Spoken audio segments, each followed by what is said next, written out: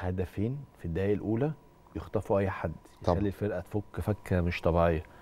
إيه اللي حصل في بداية المباراة؟ التلت ساعة الأولى تحديدا هو الزمالك كمل الشوط الأول مش حلو بس التلت ساعة الأولى دي كانت تلت ساعة صعبة جدا على الزمالك. يعني هدفين وكان في أهداف ضاعت كمان. مظبوط.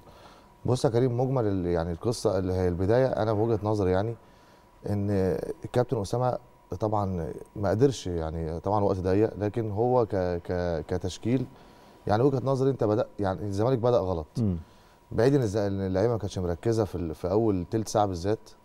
آه إن أنت تبدأ بحم بح- بحمزة تاني ناحية اليمين في ظل وجود حازم يعني ما نزل يعني كهجوميا وباين إن هو يعني حازم دلوقتي يعني أحسن back right في نادي الزمالك. فالأولوية كانت تبقى لحازم لو هتغير في التشكيل عبد الشافي وممكن لما فتوح نزل آه رؤى بعيد عن الم- عن المباراة في يعني بقاله فترة كبيرة جدا.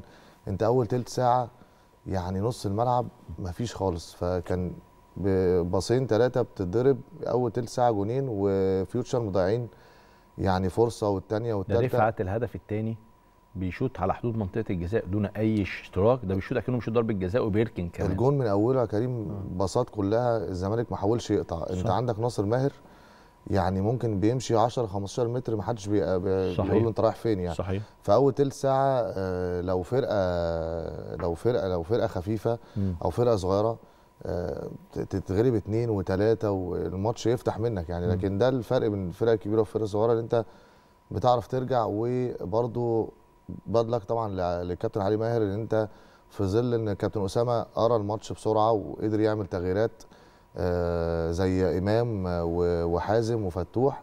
هو هو وقع منه اتنين لعيبة جامدين جدا اللي هو أحمد رفعت والبدري فطبعا آه، الماتش النهارده فرص لل- لفيوتشر آه وخبرة نادي الزمالك والكواليتي بتاع طبعاً. نادي الزمالك طبعا آه، رجحوا طبعا في الماتش